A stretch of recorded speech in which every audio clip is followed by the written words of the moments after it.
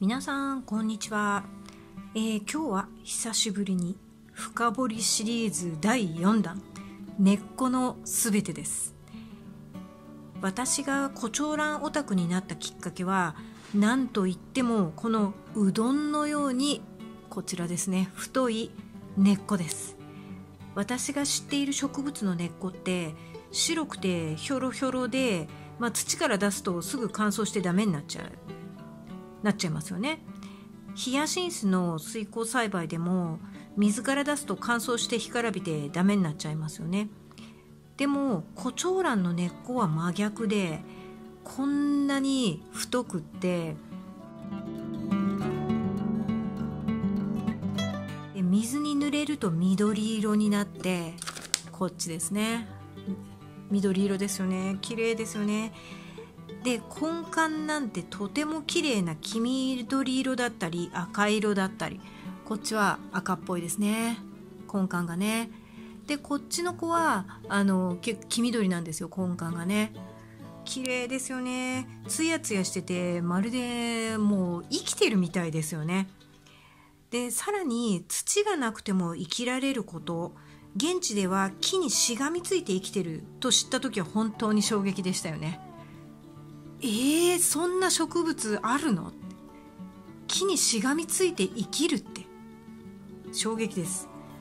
お店の開店の時とか選挙で当選した時とかねすごく豪勢に並んでいる豪華絢爛な胡蝶蘭の鉢の中にはこのうどんのようなこういう根っこですねが渦巻いていてさらに現地ではむき出しの根っこが木に絡みついて生きてるなんてもう美しく包装されて花の向きも綺麗に揃って咲いているあの姿から誰が想像するでしょうか？そんなん想像する必要ないんですけどね。ああ綺麗だなで終わればいいんですけどね別にね。まあ私に胡蝶蘭愛を語らせるとキリがないので本題に入ります。まだ本題じゃなかった。えー根っこの中心にはですね細い本体の根っこがあります。普通の植物の白いひょろひょろしたあんな感じの根っこですね。まあひょろひょろっていうか触ると実際硬いんですけどね。でそういう根っこがあってその周りを皮層さらにその周りをコンピで覆われています。このコンピをベラーメンと言います。この見えてるこの感じ白っぽいこれあの外側に見えてるこれベラーメンっていうものですね。このベラーメンは水分を蓄えるスポンジ状の器官で乾燥にさらされる着生卵独特のものです。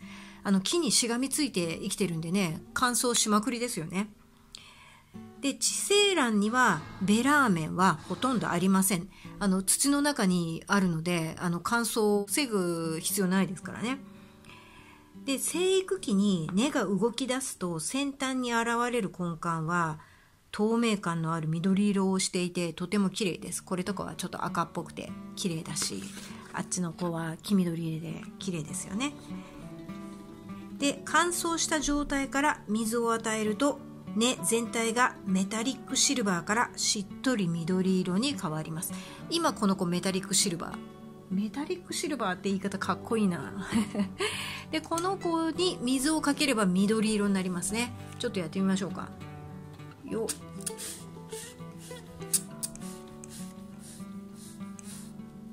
緑色なったかな。先端の方まで水がいかない。あー失敗。上の方ちゃんとね緑色になったんですよ。この辺ね。この辺メタリックシルバーがね緑色の変わりました。はい。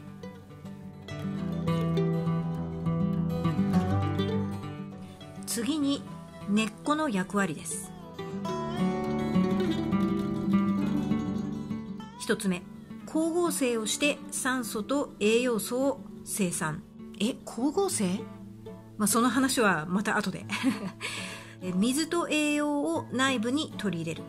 乾燥を防ぐまあこのベラーメンの役割ですね。乾燥を防ぐのはね。スポンジのように水を貯水する。それもベラーメンの役割ですね。このここを覆ってる白っぽいこの子ですね。根の先端が物体と接すると接した面の尾毛が伸びて相手に張り付き着生する。そうですね。着生するのも根っこの役割大事な役割です。ここからね。であの物体に触るとここからあのー、細かい液がビヨビヨって伸びてくっつくんですね。なんかちょっと面白いなそれ。はい。で水に濡れると緑色になるのはなぜなのか。私これずっと不思議だったんですよ。水に濡れてから緑色になるっていうことはそれって葉緑素があるってことなのないってことなのってずっと疑問だったんですけどその疑問が解決しました。はい。乾燥した根っこは白っぽい色をしています。このここですね。ベラーメンですね。白っぽい色をしていますが水に濡れるとしっとりと緑色に変わりますね。これは濡れたことによって根皮の下にある根の葉緑素が透けて見えるからだそうですよ皆さん。びっくりですよね。だからこのベラーメン白っぽいのを濡れると透明になるんですね。何て言うんでしょうあの寒天って乾燥してると白いですけど水に濡れると透明になるじゃないですか。あの雰囲気でしょうかね。あのイメージでしょうかね。はい。まあこのベラメンは溶けてなくなったりはしないですけどね。はい。透けて見えるらしいですよ下の葉緑素がね。次に根っこの光合成についてじゃじゃーんとうとう来ました。根っこの光合成。卵の根っこの緑色は葉緑素です。葉緑素は光を受けると青色の光と赤色の光を吸収して緑色の光を反射させるので緑色に見えます。皆さん思い出してみてください。植え替えで根っこから植え込み剤を取った時に中の方にあって植え込み剤に完全に隠れていた根っこは真っ白でしたよね。で外側に張って光を少しでも浴びていた根っこは緑色でしたよね。思い出しました？えー、単純に言えば葉緑素は光に当たると光合成をします。だから緑色のコチョウランの根っこも光合成をしていると判断されていました。もしくはしているだろうと推測されていました。えー、話は変わりますけど日本に自生する蘭でクモランという葉が退化して、ね、根っこだけで一生のほとんどを過ごす着生蘭があります。クモランの根は他の植物の葉と同様に緑色をしているため光合成によりある程度自活しているだろうと推測されていましたが実際どの程度光合成できるかは不明でした、えー、2023年2月今年の2月ですね。神戸大学を主体とした研究グループが発表した研究内容によれば葉が退化して緑色の根だけで生きるクモランの根の光合成機能を隣り合って生育することもある近縁種のカヤランの根と葉を比較解析しました。カヤランの根っこと葉っぱとクモランの根っこを比較解析したんですね。その結果クモランの根っこはカヤランの葉に匹敵する光合成活性を持つこと。気候はないものの特殊な通気組織を備えること。他の着生卵と同じように根の部分がカム型光合成を行うことが明らかになりました。でもね私的にこの研究で興味を惹かれたのはクモランの根っこが光合成をしていることではないんですよ。実はあのカヤランの方比較対象として研究されたそのカヤランの方ですね。カヤランはコチョウランと同じように単形性で葉っぱがある普通の着生卵です。このカヤランの根っこにも葉緑素があり光合成をしていることが分かりました。まあ、ここまでは予想通りですよね。緑だから。さらに面白いのはカヤランは他の着生卵同様あのカム型光合成を行っているんですけどね。でも根っこだけは一般的な植物と同様に C3 型光合成を行っているということが私にとってすごく興味深かったです。えー、えー、びっくりしません？皆さん。あの C3 型光合成っていうのは一般的な植物が行っている光合成のことなんですよ。昼間に気候を分けて二酸化炭素を取り込んで光反応と水の分解で光合成がなされるんですね。で夜は寝ます。え会社で言えばオフィスワーカー9時5時勤務です。こっちのこの根っこたちはね。で一方の葉っぱや茎のこの上の部分ですね。この子たちで言えばここですね。ここはいわゆる二交代制で24時間稼働の工場という感じですよね。